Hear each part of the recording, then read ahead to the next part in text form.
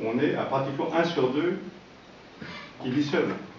Et dans les campagnes, on sait très bien que euh, l'isolement est, aussi euh, réel, et donc euh, avec les difficultés que ça, implique. Et donc cette, cette, solution que vous trouvez, je pense que c'est une solution d'avenir.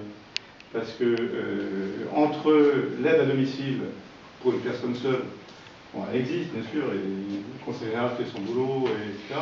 Et puis la structure collective qui est, est lourde et qui est chère, mais qui convient à un type de problématique, surtout plutôt en fin de, parcours, malheureusement, euh, cette solution pourrait être quelque chose de tout à fait euh, intéressant pour l'avenir. Et d'ailleurs, c'est Bruno qui est, le premier à faire mention organique parce que le premier, c'est mon gagne quand même.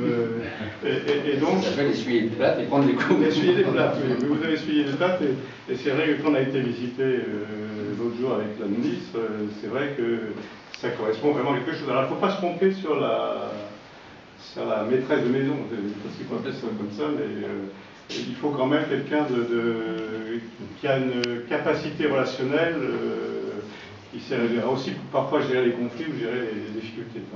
Donc ça, ça, suppose quand même un, choix, et je pense que l'échange d'informations entre les uns et les autres est quelque chose de, véritablement intéressant. Alors je ne vais pas être plus long, moi je me, que, que, vraiment quand je vois ce qui s'est passé en 10 ans au niveau de l'accueil des personnes âgées, tu l'as dit sur les deux schémas ontologiques, on a fait quand même un effort colossal, on était plutôt un peu derrière les autres. Aujourd'hui, on est, on, est, on est, devant les autres en termes d'encadrement, au niveau du nombre d'EHPAD, rien que sur le nez, on voit ce qui s'est produit, ce qui s'est passé, etc.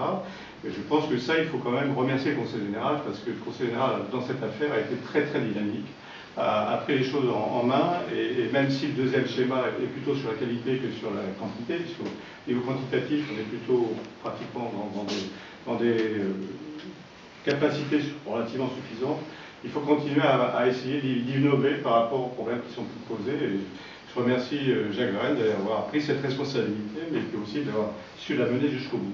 Donc euh, bravo, et puis euh, donc c'est monsieur D. 24 décembre, 23 décembre, 22 décembre, 20 Même date, 20 décembre. voilà. qui dit mieux pour l'inauguration.